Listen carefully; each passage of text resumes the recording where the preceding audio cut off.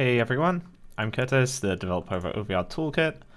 Today I'm going to quickly show you how to revert to the old bindings. It's really quick, I promise. Let's not like, let's not slack, let's just get started. So you can do this outside of VR, it's a lot easier.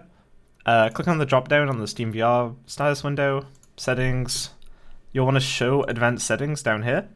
Controllers, show old binding UI. Uh, you'll be greeted with this screen, show more applications, OVR Toolkit, edit your current bindings, and keep mirror mode checked. Go down to grip, add a new binding. It'll want to be a uh, button. Wait. Yep, button. On click, not double, click. Um, set it to edit mode. Then go on the gear, and you want to set the click activation threshold to 70, click deactivation threshold to 65, and you can turn on or off haptics if you want, up to you. Uh, make sure that uh, generate click from is set to force. And tick.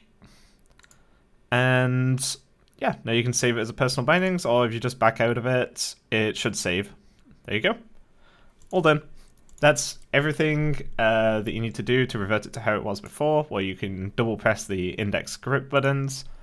Uh, just a little bit of context on why this change was made. For the past, I'm taking a stab in the dark here, but um, for the past 18 months or so, the tutorial has told you to double press both A buttons. This is because the grip binding is just, it's really, really inconsistent we had a lot of users who would say like, "Oh, why does OVR Toolkit randomly appear when I'm playing Beat Saber?" But turns out they just they held their controller too hard, and they just happened to grab it slightly harder, you know, with an interval, and you know it would act as a double grip, right, and trigger the overlays to appear.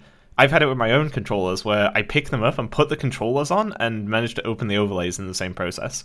So it's um from what I understand, grip just it's stronger on some controllers, it's weaker on others. In general, if you have large hands, grip's pretty uncomfortable to do anyway. So double A is better. Yeah, yeah, I know. You'll end up jumping in VR chat. You can remove it from one hand if you uh, if you prefer, and just have it on say double A on the left hand, so you don't jump. But you know, it's up to you. Um, play around with the bindings. The edit mode binding is what you're looking for. Doesn't need to be on both hands.